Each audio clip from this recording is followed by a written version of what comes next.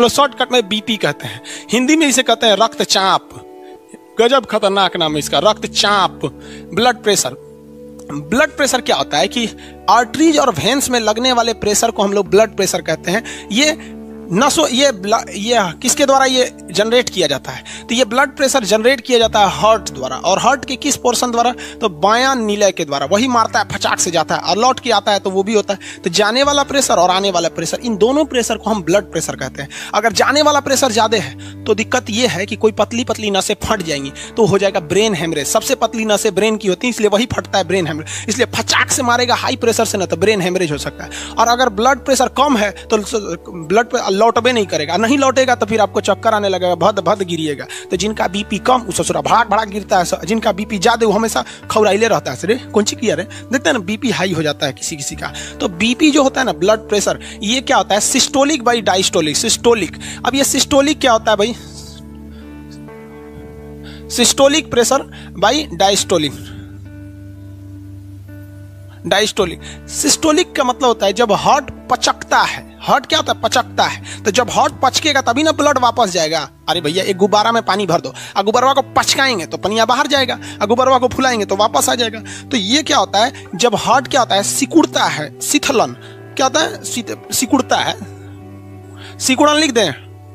जब हार्ट सिकुड़ जाता है तो उसे क्या कहते हैं? सिस्टोलिक। देखिए, सौ से सिकुड़ना सौ से सिस्टोलिक। याद कैसे रहे? जब हार्ट इसे सिकुड़ेगा तो फच से मारेगा, पूरा ब्लड जाएगा। और डाइस्टोलिक मतलब हार्ट क्या होगा? क्या हो रहा फैल रहा है। हार्ट का फैलना। फैलना। जब हार्ट ऐसे फैलेगा, जब हार्ट ऐसे फैलेगा तो समझिए ब्लड वापस आ रहा है। तो जब ऐसे हार्ट फचाक से मारा तो उसे क्या कहते हैं? सिस्टोलिक। और लौट के आया तो डाइस्टोलिक नॉर्मल से बढ़ गया तो भी दिक्कत। घट गया तो भी दिक्कत। बढ़ता किस लिए है और घटता किस लिए है?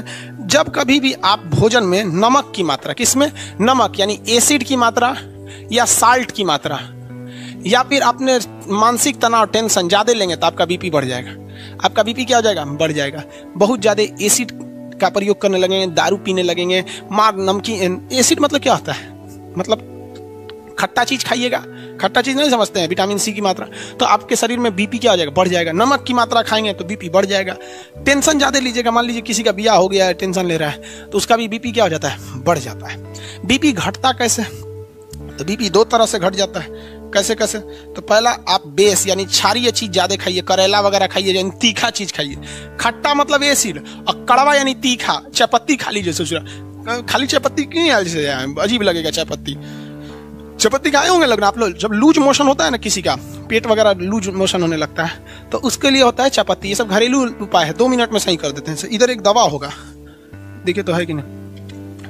आपको ना बायोलॉजी के लास्ट में कुछ दवाइयों के बारे में भी सब बताएँगे। ये कई दवाएँ हैं, जैसे खजुवट हो जाता है, लड़कों को पैर के बीच में काछ लग जाता है या नहाने से कई काछ लग जाए, खजुवट हो गया दिनाय हो गया ये दवा है 24 घंटा गारंटी ठीक कर देगा।